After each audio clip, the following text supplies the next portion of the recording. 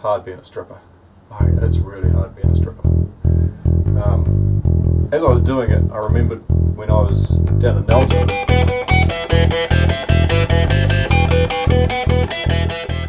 Righty, happy Homebrew Wednesday, everybody. This is, uh, what is it? It's the 9th of January. I missed last week uh, because what was I doing? What was it?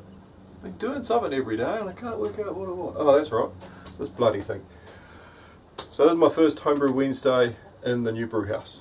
I thought, it's here, I might as well start using it um, for videoing at least until I get it all finished for brewing. So if you haven't seen what's been going on with the brew house, have a look at these daily videos uh, showing what I've been doing. But anyway, happy Homebrew Wednesday. Cheers.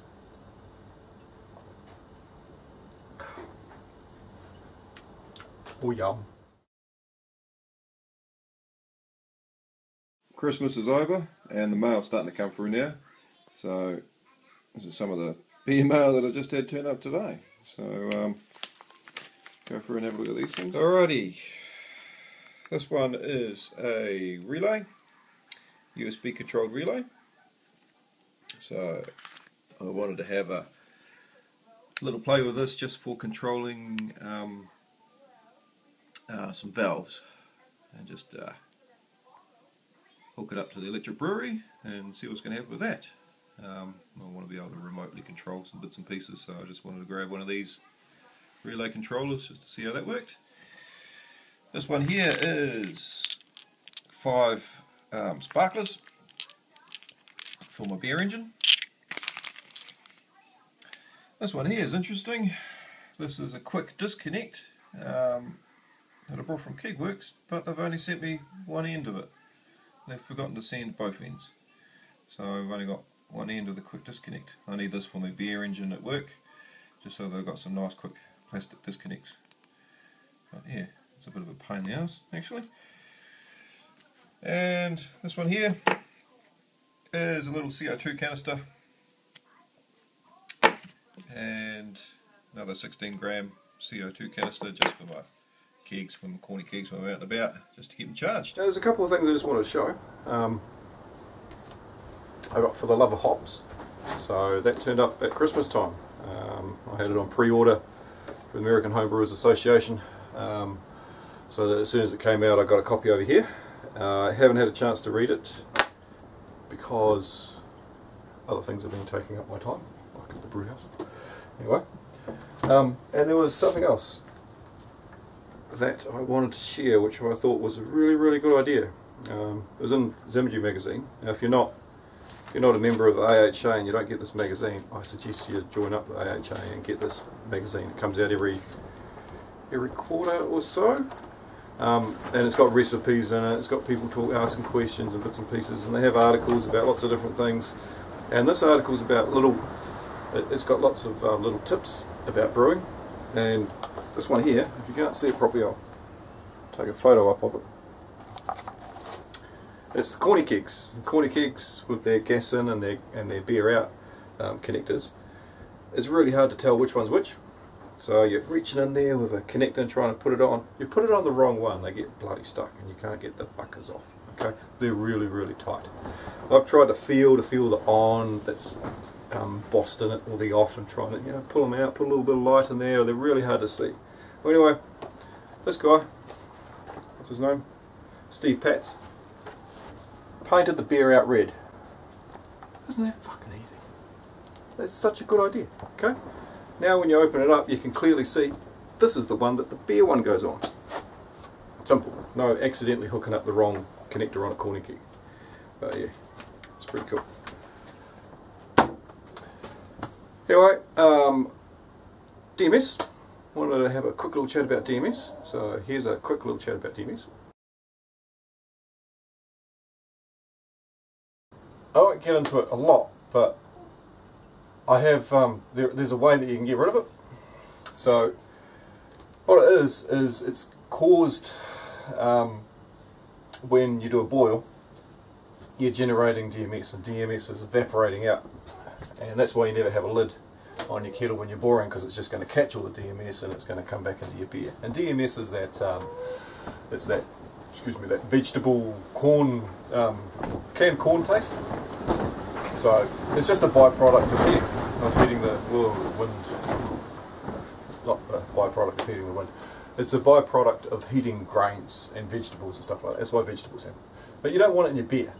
Um, so as the steam comes up, you want that steam to go away. And as the steam carries the DMS away, you're all good. Um, now that's why it's really important that when you uh, finish your boil and you're cooling down, you cool down really fast. Because DMS is still being produced, but there's not as much steam. So if there's not as much steam carrying the DMS away, it's staying in your beer. So DMS is still being produced all the way up to 70 degrees Celsius, I think.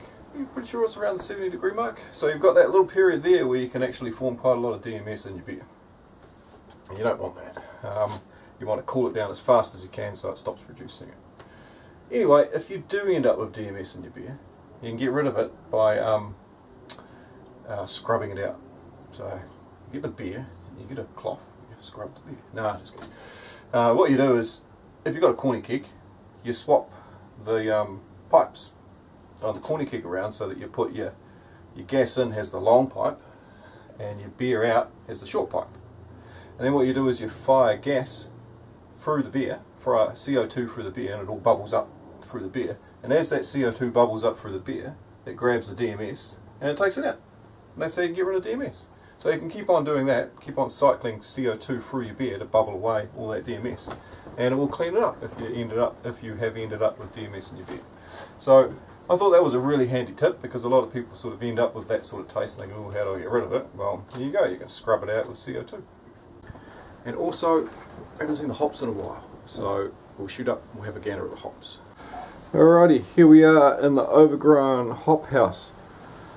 These things have just gone nuts. Actually, everything's going nuts. There's a big weed. Huh. Oh, there's a chicken. Oh, chicken. Um, yep. I just pretty much let them go and they're taking over. It's a massive great big plant over here that is starting to crawl up over the side as well. It must have fallen down from, oh look at them all, they're coming out everywhere. Alright. Look at that. That's a friggin' aphid. Right, there. I need more spiders in here bugger. I haven't done any more in the brew house today. Thought I'd stop and I'll do a homebrew Wednesday video. I said I was going to have the door cleaned, um, paint stripped. It's hard being a stripper. It's really hard being a stripper. Um, as I was doing it, I remembered when I was down in Nelson, when I was 20, near around about 20, I had a flat and um, the flat was up above a shop um, at the end of town where all the pubs were. It was great. Um, and it was a high stud and it had all this woodwork and it was all painted. And I said to the landlord, oh look, you know, I can strip that paint off and um, if you don't, you know, if we don't have to pay rent for a week or so or something like that. He goes, yep, yeah, no, go for it. Tidy it up, make it all look nice. So I started stripping it with paint stripper. Fuck, I should have remembered. It's bloody hard work, you know paint stripper just doesn't take all the paint off instantly. It takes the first layer off. The second layer is sort of sucked into the wood. You've got to scrub it. And then you've got to try and get that scrubbed in paint stripper out. So, best thing to do is dip stripping, where you take the whole door to a place and they dip it in a, in a pool of acid, take it out and it's all clean. But I will keep on working on it because it is a very nice uh, looking Rimu door. Um, and hopefully it's going to come up really nicely. But anyway, that's pretty much all I wanted to, to quickly say. Oh, quick shout out to um, Harry Brewer 69. Um, I'll be keeping an eye on you, buddy. Okay, seeing I've inspired you to start your own brew house and get your own brew house working. I'm going to expect updates every week.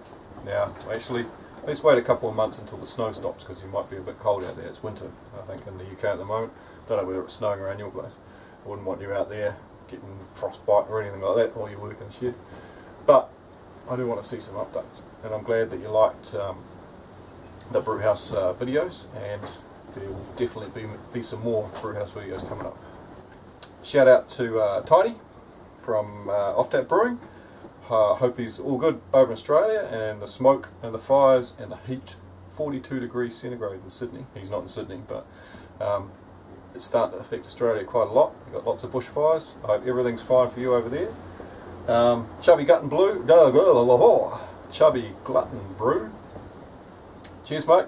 I fired you some beer. Um, I saw the video of it today that you opened it up. I'm looking forward to your feedback on that. Also Tiny I fired you some beers as well and you know you got those beers turning up so I'm looking forward to getting a little bit of feedback and looking forward to seeing your beers come back as well so I can taste some different beers. But anyway, cheers, have yourself another one.